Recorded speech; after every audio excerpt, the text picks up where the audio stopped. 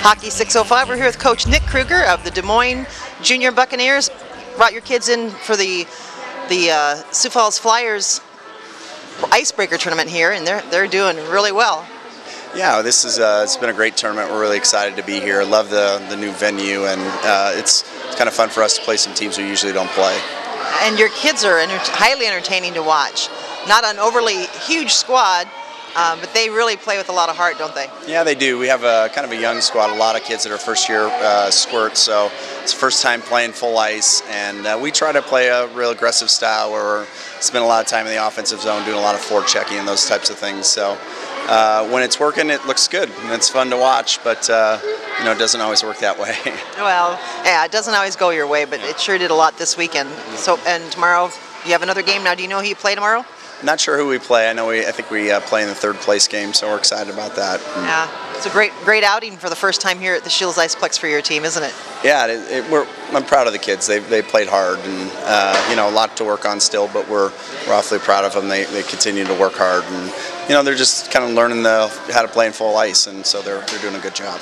And I'm amazed at this age and uh, of their development that the players are all able to play through three full periods. You don't see any tired legs out there that like I expected to see in that third period. Yeah, we're, we're probably uh, one of the teams that has uh, more kids on, on the roster than, than most of the teams we played this weekend where, you know, we have three full lines and three sets of D. And uh, so we're, we really try to focus on the hard shifts when we can and to wear teams out so that by the third period, you know, their pucks start to turn over, those types of things. So it, it's it's it, it's advantageous for us really. So yeah, especially when it comes down to that third period, right? Yeah, that's right. In a tournament setting, even. That's right. So tell us a little bit about the Des Moines uh, Junior Buccaneers. How long has your program been around? How many players do you have, and what age divisions? Yeah, so I think the program, uh, our junior team is celebrating its 35th year anniversary wow. this year. So um, I think the the, the it, that association initially was bought to to uh, support the ice sports in Des Moines. So, you know, it's certainly been around longer than 35 years, but uh, we've been playing under the Bucks,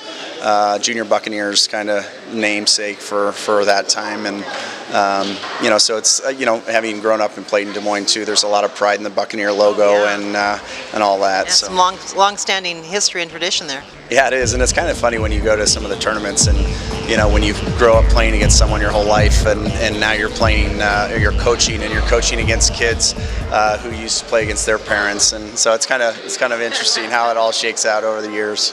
Just keep it keeping it going. Yep. Giving back to the game, right? That's right. Yeah, that's what it's all about this stage for sure.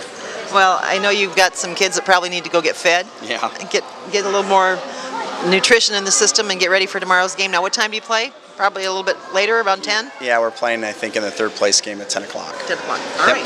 Well, thanks for taking time with us at Hockey 605. Best of luck tomorrow, Coach. Thanks very much.